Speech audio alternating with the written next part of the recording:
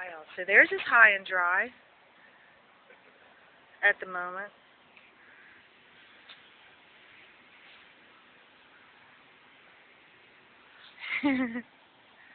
wow, so that's as far as we can go.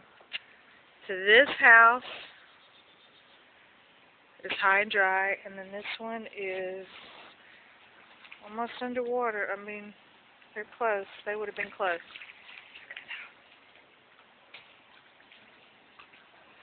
Going that way. What are you doing? What are you doing? Oh my gosh. That's the neighbor's dog. Oh!